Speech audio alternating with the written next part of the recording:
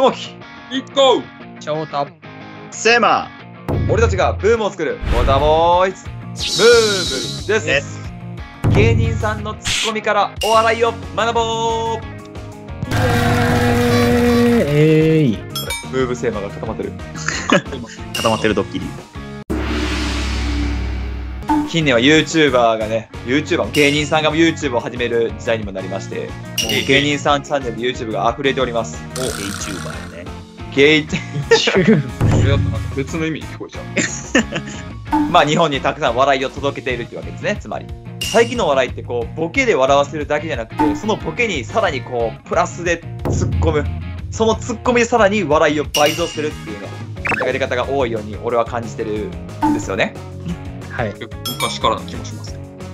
本当？昔でもボケ、ボケ強みになっちゃった？わ。ああ、なるほど。昔はダウンタウンの浜田さんとかのような、なんでやねんとか、あ、そうやんな。シンプルのあれで、シンプルな感じだった気するけど。ツッコミのこうワードセンスでも笑わせるみたいな、なってきてるやんか、今。そういうところで学ぶことで俺らもやっぱ YouTuber として皆さんをね、笑顔を届けて笑わせてたりする、今の活動をやってるんで、ユーモアセンスを高められるんじゃないかということで、実際に芸人さんが突っ込んだのを用意してもらってるんで、1人がお題を出して、3人がその時、なんて突っ込んだかを当てる。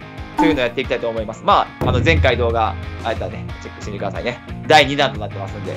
それでは、本編やっていきます。しゅいしゃい。それでは、まずは俺からお題を出したいと思います。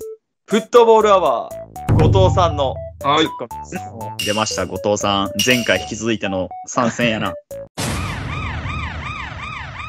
有名っすよね。有名ね有名なそれで。では、フットボールアワーさんの漫才から出題します。漫才から？実後力者で。藤さんがタバコをもすごい吸うヘビースモーカー。岩尾さんもそれを、いや、タバコやめろっていう話になります。でも、ただでやめさせへんから、俺は代わりに、岩尾さんがね、俺は傘をやめるわと。一本の本で、タバコ一本、傘一本、みたいな。ほんで、岩尾さんが後藤さんに、お前一日タバコ何本ぐらいするねん？言ったら、まあ、40本ぐらいかな。まあ、俺も一日40本ぐらい傘さすけど、って岩尾さんが言ったら、いや、お前どんだけさすねん？の後に言ったツッコミワード。え？ヒントは40本札。まあまあ、そうだね。本でそうボケんねんな。ヘビースモーカーが40本タバコ吸うと。そうしたら、まあ俺も傘40本ぐらい刺すけど、って言ったら、お前どんだけ刺すねん。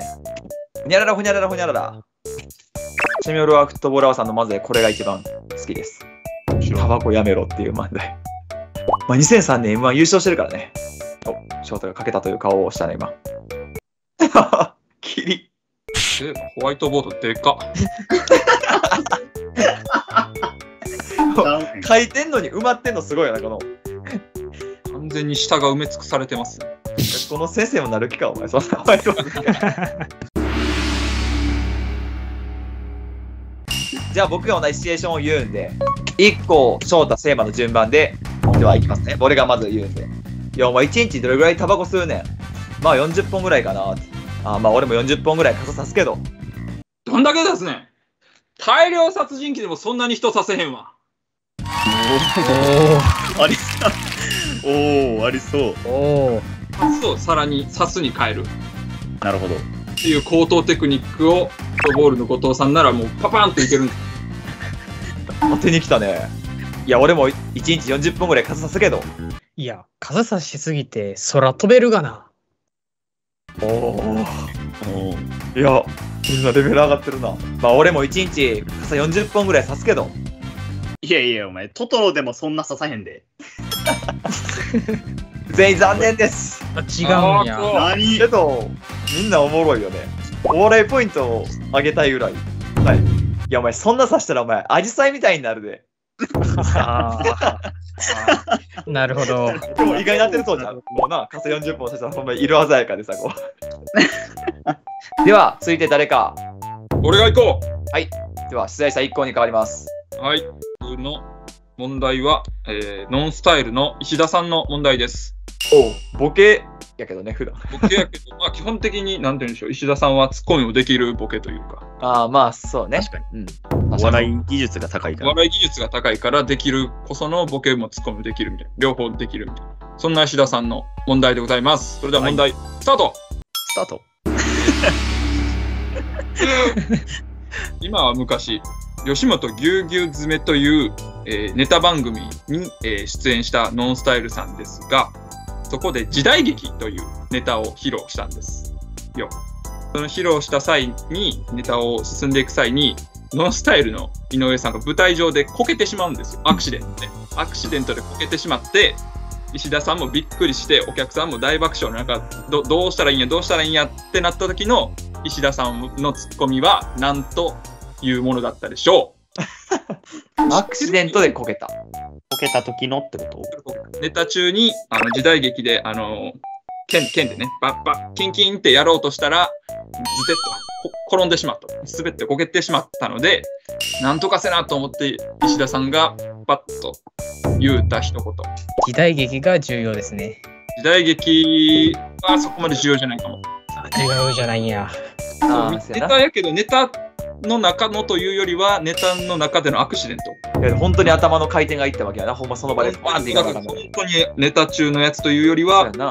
アドリブでなんとかしのいだっていう感じの一幕になっておりますね。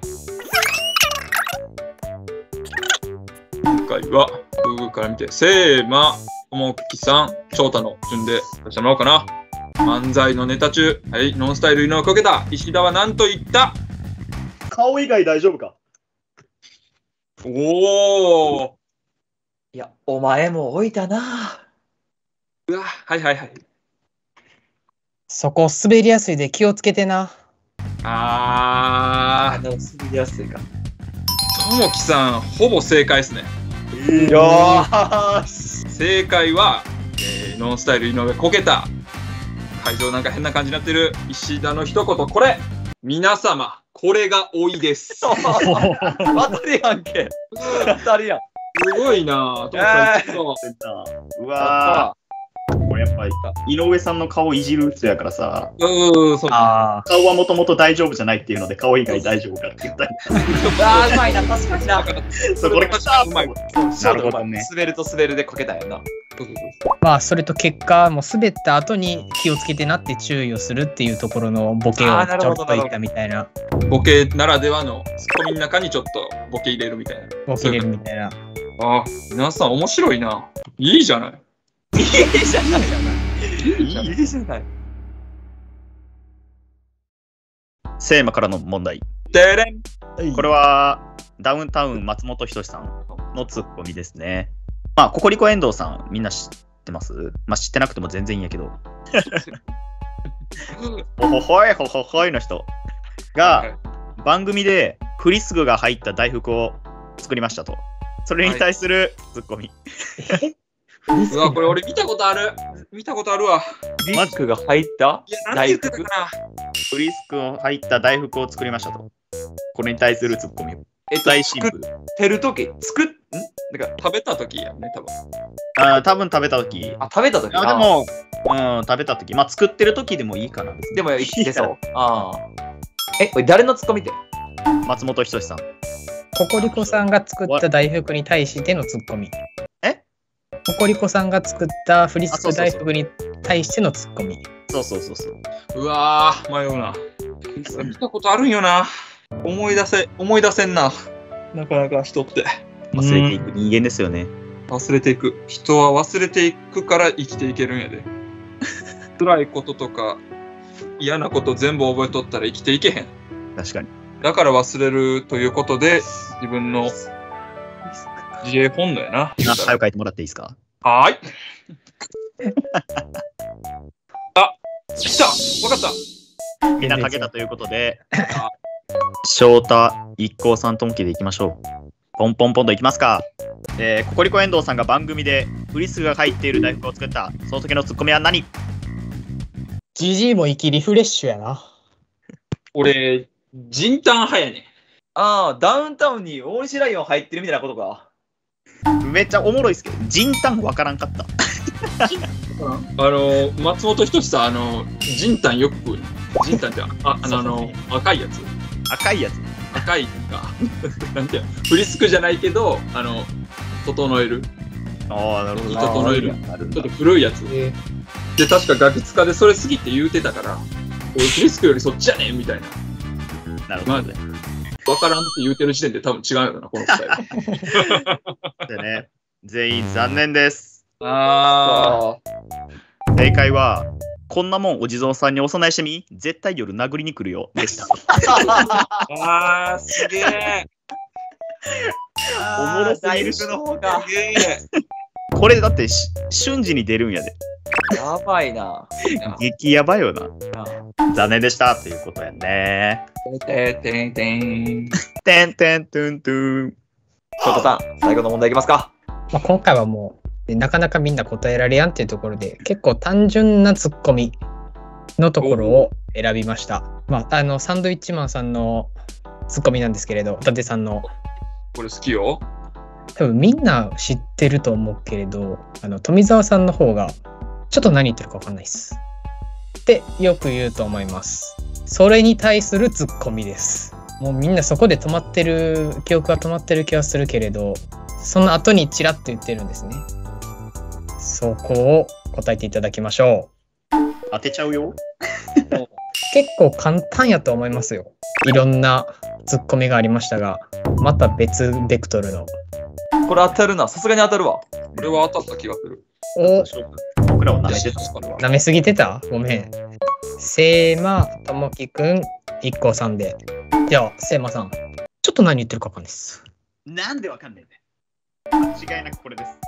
間違いなく、自信満々で。自信満々では、はい、ともくんで。ちょっと何言ってるかわかんないです。